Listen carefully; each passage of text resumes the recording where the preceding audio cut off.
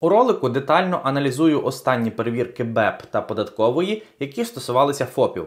Розбираємо це, щоб зрозуміти, як захистити свій бізнес. Вкрай важливий матеріал, тому обов'язково додивіться до кінця та діліться з друзями. Привіт! Мене звати Богдан Янків, я адвокат, і ми з командою з восьми професіоналів надаємо послуги приватним клієнтам та бізнесу. Обов'язково підпишись на мій канал, щоб не пропустити корисні ролики. Контакти для звернення до мене за платними послугами знайдете зверху на відео. Податкова та БЕП за останній період публічно поділилися своїми кейсами перевірок. Я думаю, це чудова нагода їх прокоментувати і мені поділитися своїм досвідом супроводу різного роду перевірок. Почнемо розглядати спершу податкові перевірки, і потім далі у ролику розглянемо новинки, які бюро економічної безпеки вигадало для підприємців. Податківці почали системно виявляти, що підприємці практикують імітацію фіскальних чеків. Тобто, фактично, ФОП видає документ, який повністю виглядає як фіскальний чек, але в податковій не реєструється.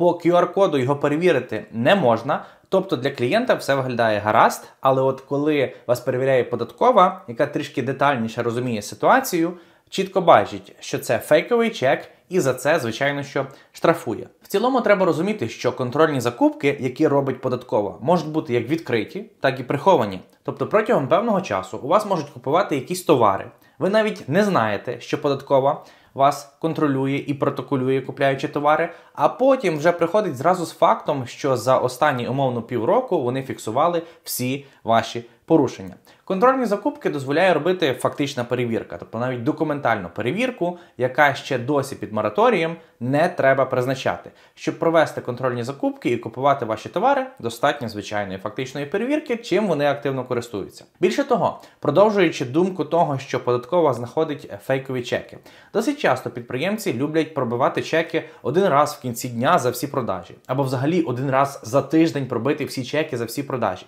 Часто також буває, що і просто так підприємці вибивають додаткові готівкові чеки, щоб просто накрутити собі дохід для довідки про доходи.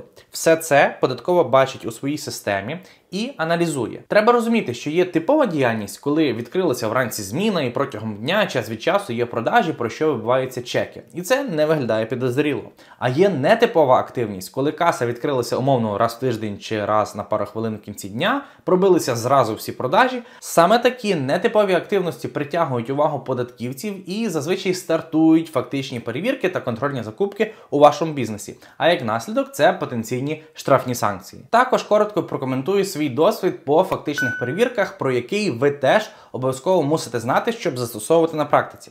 Якщо ви ФОП-єдинник, податківці досить часто люблять робити певний кіпіш, починати перераховувати гроші в касі, а також робити x звіти з терміналу.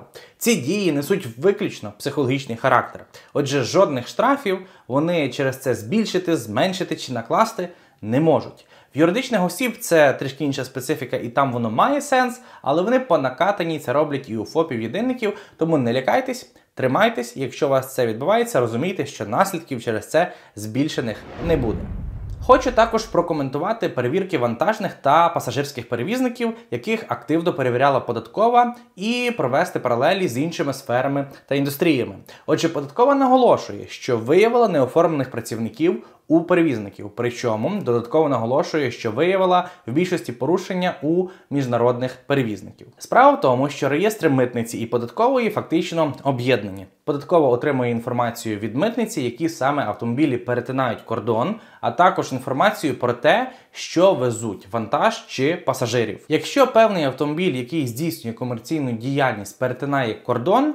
Митниця фіксує, що саме перевозиться та хто саме є водієм. І податкова на основі цієї інформації легко вже перевіряє, чи дійсно оформлений цей водій на роботу чи ні. Після цього підприємцям приходить лист з проханням пояснити, чому така-то конкретна особа здійснила поїздку на вашому автомобілі та здійснила певну комерційну діяльність, причому людина не оформлена. Очевидно, що пояснити ви це ну не зможете і отримаєте штрафні санкції. Аналогічна ситуація відбувається і з іншими реєстрами. Якщо податкова бачить по митному реєстрі, що на одне ім'я чи навіть на одну адресу їде багато товарів без розмитнення до 150 євро, це може спричинити питання того, що напевно цей товар поділено на партії товару спеціально, на малій партії товару спеціально, щоб не сплачувати податки і не розмитнювати їх. Як наслідок, враховуйте, що податківці детально слідкують за державними реєстрами.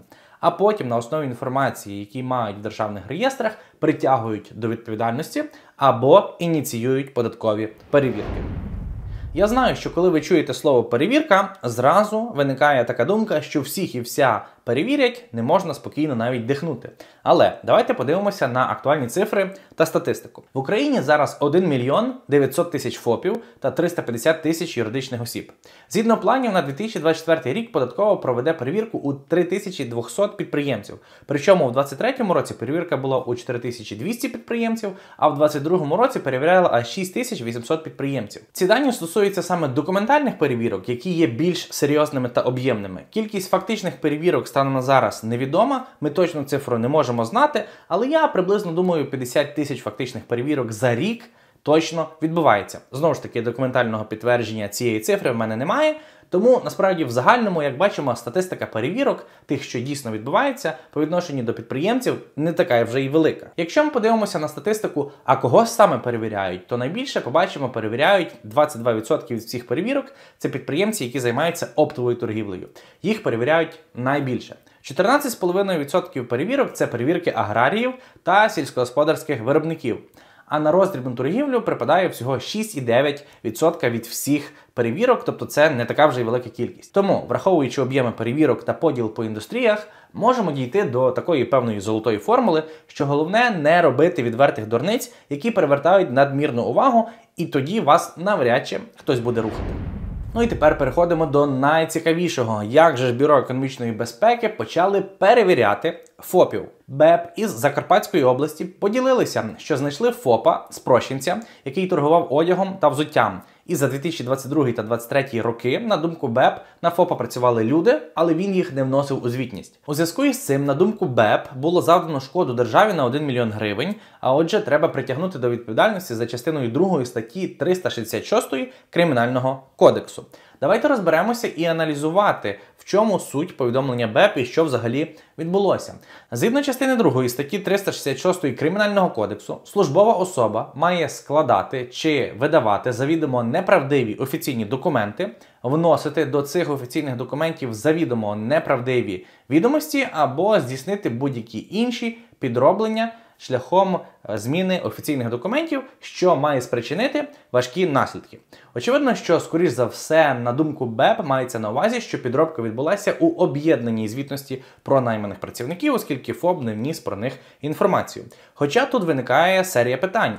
Чи буде ФОП службовою особою в розумінні статті 366 Кримінального кодексу? Я дуже сумніваюся. Чи буде звітність подана в податкову вважатися саме тим офіційним документом в розумінні статті 366, теж дуже сумніваюся. Чи може за два роки, а саме 22 та 23 рік, ФОП нанести державі збитків на 1 мільйон гривень через неоформлених працівників? Теж дуже сумніваюсь. Давайте візьмемо приклад на середньостатистичному магазині, ну максимум якому потрібно 4 працівники, це в кращому випадку. Нехай в ідеальному світі цим чотирьом працівникам будуть платити 21 тисячу офіційної зарплати, з якої має бути дійсно 9 тисяч гривень податку.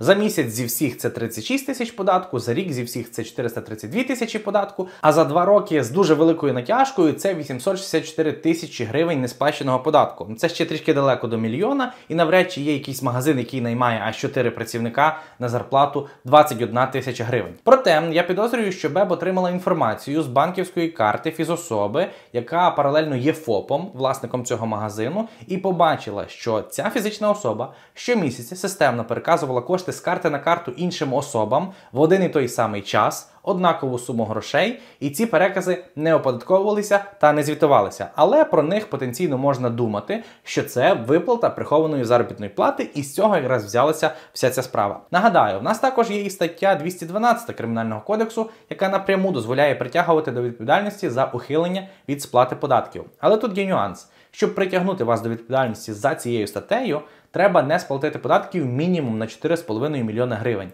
Тому, власне, і обрали іншу стратегію по статті 366 Кримінального кодексу. Тому, коли будуєте структуру свого бізнесу, враховуйте досвід, який є доступний для аналізу, щоб не припускатися цих грубих помилок і тим самим не наступати на ті граблі, на які вже хтось. Наступив.